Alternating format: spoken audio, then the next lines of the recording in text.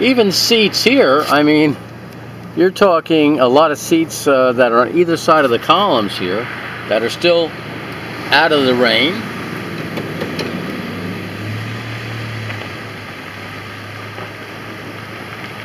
If you need extra space, you have seats here, you have seats all down here that could be used.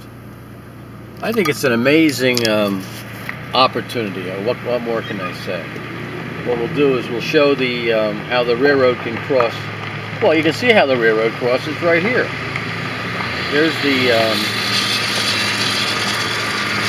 here's the walkway across. So they could use that same effect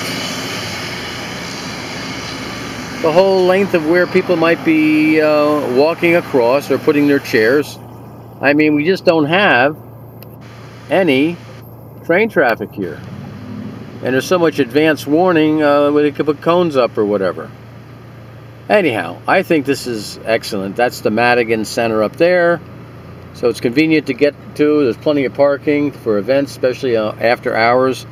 And at nighttime, there's a whole new dimension when it's cool. They can hold different concerts and things, or political gatherings or whatever. Take care. Okay, folks, uh, this is a concept that I I kind of had, um, and the concept is to use this bridge as a stage. We're right next to the War Memorial.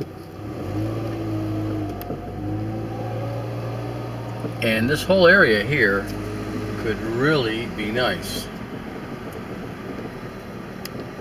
Here we are under the bridge that goes to, um, that's next to the War Memorial, the Morris, um, Bradford County.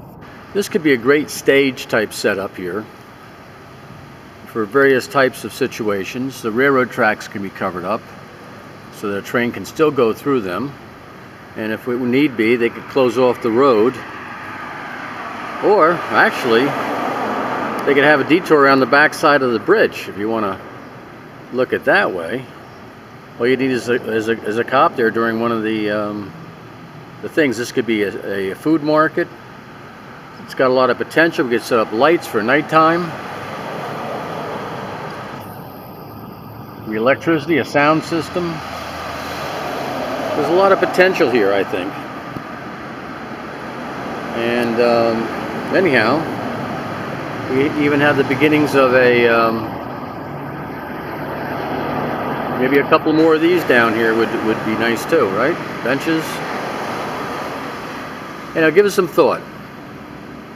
This is Towanda, Pennsylvania, Merrill Parkway, and this is near the war, the uh, Veterans uh, Memorial here in Bradford County.